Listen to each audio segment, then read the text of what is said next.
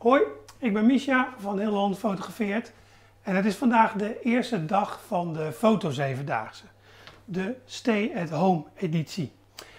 Um, ik hoef jullie niet uit te leggen waarom we dit doen. Uh, eigenlijk is het gewoon om een beetje uh, weg te komen van al die ellende die we op dit moment hebben.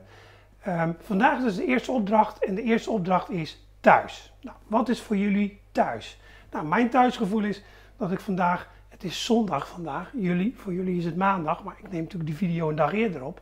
Maar voor mij is het thuisgevoel dat ik weer eens een broodje heb gemaakt. Afgelopen week heb ik een decem gemaakt en dit is mijn eerste broodje. Dus ik ga hem nu aansnijden en we gaan eens even kijken.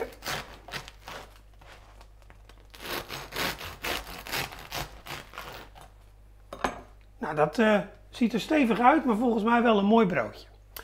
Um, wat is nou de bedoeling? Je gaat dus een foto maken waarin je thuis, jouw thuis, eigenlijk laat zien. Als je die foto gemaakt hebt, dan kan je hem delen. Dat is natuurlijk leuk. Je deelt hem op Facebook, Twitter, Instagram, LinkedIn, nou ja, waar, waar je dan ook zit. En uh, dan ben je eigenlijk klaar voor vandaag. Probeer natuurlijk te concentreren bij het fotograferen. Maak een zo mooi mogelijke foto. Het is de Stay at Home editie, dus we proberen zoveel mogelijk in en om het huis te blijven. Um, morgen opdracht nummer 2. Eerst vandaag opdracht nummer 1 thuis. Veel plezier, veel succes en tot morgen.